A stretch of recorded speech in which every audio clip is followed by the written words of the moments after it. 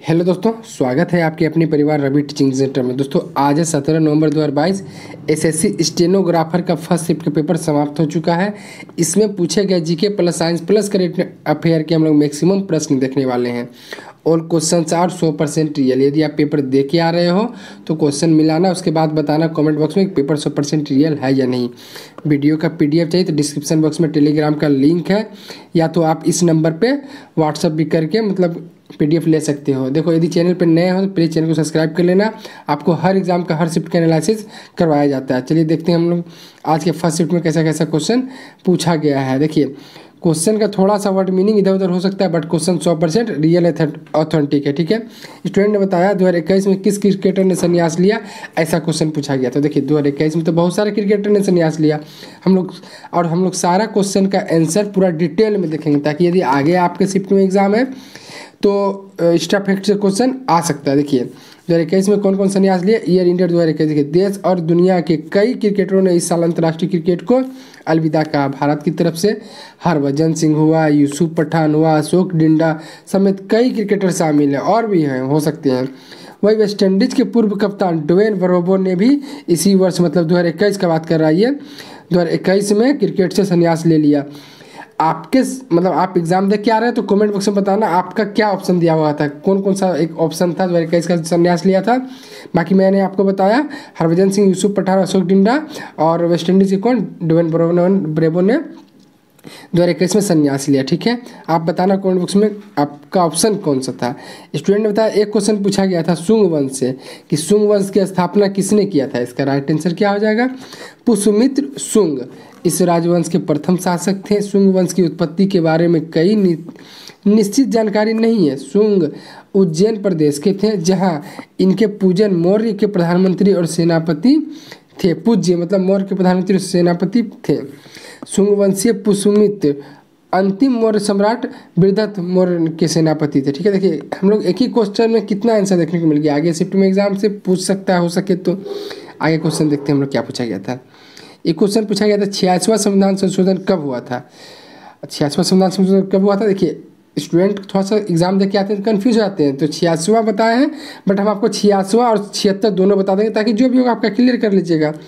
छियासवा संविधान संशोधन कब हुआ था? भारत के संविधान, देखिए, छियासवा संविधान संशोधन अधिनियम दो हज़ार दो में हुआ था। इसका, इसमें क्या हुआ था? आगे आपसे पूछ सकता है, ये सब खूब पूछता भी है। इसका संबंध अनुच्छेद इक्कीस के पश्चात जोड़े गए नए अनुच्छेद इक्कीस का ए से है। इसमें क्या हुआ था? अनुच्छेद, देखिए, नया अनुच्छेद इक्कीस ए शिक्षा के अधिकार संबंधित है। राज्य में छः से चौदह वर्ष के आयु को, आयु के बच्चे को निःशुल्क शिक्षा अनिवार्य कराना है। यह छियासवा संविधान संशोधन दो हज़ार दो में है और अनुच्छेद पूछे इक्कीस के ए में है। यही है छियासवा संविधान संशोधन, ठीक है? पूछता है, अभी recently S S C P O वगैरह का एनालिसिस करवाया, उसमें पूछा गया था कि छियासवा संविधान संशोधन मतलब क्या है कि इसका ये मतलब तो छः से चौदह वर्ष के आयु के बच्चे को निःशुल्क शिक्षा अनिवार्य कराना, ठीक है? हम छिहत्तर ही बताते हैं छिहत्तरवा यदि पूछा होगा तो छिहत्तरवा संविधान संशोधन कब हुआ था? उन्नीस सौ चौरानवे हुआ था, याद रखिएगा आप लोग, छिहत्तरवा संविधान संशोधन। आगे क्वेश्चन देखते हैं, क्या पूछा गया था? पूछा गया था, उन्नीस सौ इक्यानवे में भारत के प्रधानमंत्री कौन थे? देखिए, इसका हम आंसर आपको बताने का प्रयास करते देखिए सॉरी उन्नीस में भारत के प्रधानमंत्री कौन थे? देखिए, आपको हम पूरा डिटेल में बताते हैं, क्योंकि थोड़ा सा कन्फ्यूज़न है। हम चंद्रशेखर का बात करें पहले। चंद्रशेखर चंद्रशेखर का हम बात करते हैं तो उनका कार्यकाल था प्रधानमंत्री का दस ग्यारह मतलब दस तारीख ग्यारह महीना उन्नीस सौ नब्बे से उन्नीस सौ इक्यानवे तक। 1990 से उन्नीस सौ इक्यानवे तक था कितना चंद्रशेखर का। और पी वी नरसिम्हा राव का बात करूँ मैं तो इक्कीस तारीख छः महीना उन्नीस सौ इक्यानवे से उन्नीस सौ छियानबे तक था। नरसिम्हा राव कब से थे? उन्नीस सौ इक्यानवे से उन्नीस छियानवे तक। और नब्बे से इक्यानवे थे चंद्रशेखर आपका ऑप्शन क्या था? आप क्लियर कर लेना, ठीक है? आगे देखते हैं क्वेश्चन एक क्वेश्चन पूछा गया था स्टूडेंट ने बताया लक्की का एंटोनीज पूछा गया था। क्या ये राइट क्वेश्चन है? आप लोग कमेंट बॉक्स बताना। लक्की का एंटोनीज क्या होगा? अनलक्की ठीक है लक्की का ऑपोजिट पूछे या एंटोनीज पूछे, क्या हो जाएगा? अनलक्की हो जाएगा, ठीक है? आगे देखते हैं क्वेश्चन एक क्वेश्चन पूछा गया था दो हज़ार ग्यारह की जनगणना के अनुसार सबसे गरीब राज्य। यहाँ भी मेरे को थोड़ा सा कन्फ्यूज़न है, आपको क्लियर करना। दो हज़ार ग्यारह की जनगणना के अनुसार सबसे गरीब राज्य पूछा गया था या दर पूछा गया था? तो गरीबी राज्य का बात करें तो आप जानते हैं बिहार सबसे गरीब राज्य है और साक्षरता में भी सब, साक्षरता में भी सबसे कम है। बाकी गरीबी दर आपसे पूछा गया होगा दो हज़ार ग्यारह का तो बाईस परसेंट है।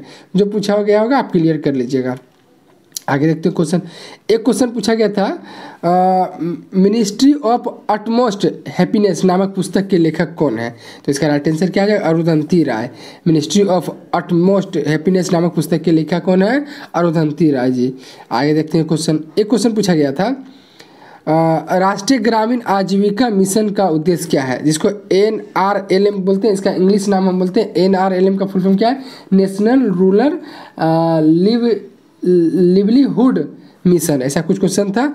इसका उद्देश्य क्या है? उद्देश्य ही पूछा गया था, या तो फिर हम आपको क्लियर करके आंसर बताऊँगा। उद्देश्य पूछा गया या कब स्टार्ट हुआ था ये पूछा गया। स्टार्ट का बात करें, दो हज़ार तेरह दिख दिख रहा होगा आपको। स्टार्ट दो हज़ार तेरह में हुआ था। अब बाकी उद्देश्य की बात करें तो इसका राइट आंसर क्या जाए आजीविका एन आर एल एम का मुख्य उद्देश्य गरीब ग्रामीण को सक्षम और प्रभावशाली संस्थागत मंच प्रदान कर कर उनकी आजीविका में निरंतर वृद्धि करना और वित्तीय सेवाओं तक उनकी बेहतर और सरल सरल तरीके से पहुँचाए, पहुँच बनाना और उनकी पारिवारिक आय को बढ़ाना। इसके लिए मंत्रालय को विश्व बैंक से आर्थिक सहायता भी मिलती है। स्टार्ट का पूछा होगा, एन आर एल एम का नेशनल रूरल लिवलीहुड मिशन का दो हज़ार तेरह में स्टार्ट हुआ था। ठीक है, आप लोग क्लियर कर लीजिएगा। आगे की बात करूँ, मैं क्वेश्चन लिखना, लिख नहीं पाया है। हॉर्निवल फेस्टिवल, क्या ये क्वेश्चन था? स्टूडेंट बता रहे थे लास्ट में कि हॉर्निवल फेस्टिवल से क्वेश्चन आया था। तो इसका यदि पूछा हुआ किस राज्य में तो आप लोग जानते हैं नागालैंड। हॉर्निवल फेस्टिवल कहाँ है? अच्छा जानते होंगे नागालैंड। ठीक है आगे मैं बात करूँ तो मतलब बात करते हैं हम लोग इंग्लिश का तो पेसेज से तीन से चार क्वेश्चन पेसेज से तीन से चार क्वेश्चन आ रहे हैं सनोनिज एंटोनिज पाँच से छः क्वेश्चन पूछे जा रहे हैं। रीजनिंग का थोड़ा सा बात कर लेते हैं तो कथन निष्कर्ष से तीन से चार क्वेश्चन स्टूडेंट बताए, और कैलेंडर से एक क्वेश्चन आया था, ठीक है? और बाकी ये सब सब सिटिंग अरेंजमेंट वगैरह का एक दो से एक से दो क्वेश्चन था तो ये सब आप करके जाइएगा, ठीक है? उम्मीद करते हैं वीडियो आपको पसंद आया हो, और वीडियो पसंद आया हो तो वीडियो को लाइक, चैनल सब्सक्राइब कीजिएगा। मिलेंगे नेक्स्ट शिफ्ट के वीडियो में, तब तक के लिए जय हिंद, जय भारत। वंदे मातरम।